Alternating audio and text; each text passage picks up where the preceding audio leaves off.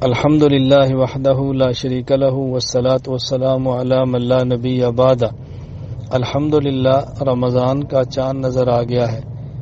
رمضان کے ماہ میں ان چیزوں کا اہتمام کریں۔ نمبر ایک، دن کا روزہ۔ نمبر دو، رات کی بیس رکعت تراوی جماعت کے ساتھ۔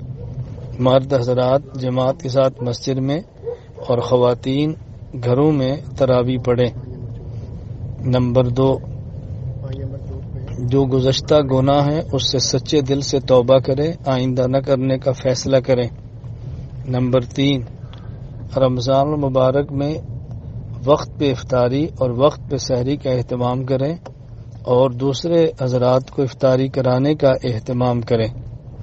نمبر چار۔ قرآن کریم کی تلاوت کا بہت زیادہ اہتمام کریں۔ زیادہ سے زیادہ تلاوت کریں۔ نمبر پانچ، پہلا کلمہ استغفار، اس کی کثرت کریں۔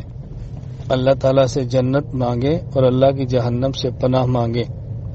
نمبر چھ، رمضان المبارک میں صدقات کا بہت زیادہ اہتمام کریں۔ جس قدر زیادہ سے زیادہ ہو سکے صدقات دیں۔ نمبر سات، نوافل کا اہتمام کریں۔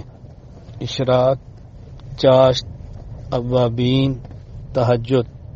اور زیادہ نہ ہو تو ہفتہ میں ایک دن بگرنا رمضان میں ایک مرتبہ سلاد و تسبیح پڑھ لیں۔ نمبر آٹھ، جمعہ کے دن کثرت کے ساتھ درود پاک کا اہتمام کریں۔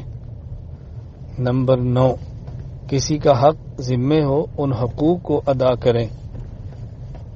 کوشش کریں کہ ہمارے ذمے کسی کا حق نہ رہ جائے۔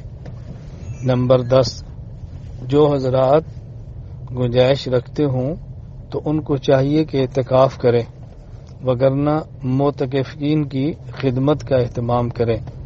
اللہ رب العزت ہم سب کو رمضان المبارک عبادات کے اندر، سنت کے مطابق منہمک رہنے کی توفیق عطا فرمائے۔ دنیا بھر کے اپنے مظلوم مسلمان بھائیوں کو دعاؤں میں ضرور یاد رکھیں۔ دین کا کام کرنے والا کوئی فرد، کوئی ادارہ، کوئی جماعت، ان کے لیے دعا کریں اور ان سب کے لیے جس حد تک ممکن ہو تعاون کا اہتمام کریں۔ دعائیں بھی کریں، تعاون کا اہتمام بھی کریں۔ اللہ تعالی ہم سب سے راضی ہو جائے۔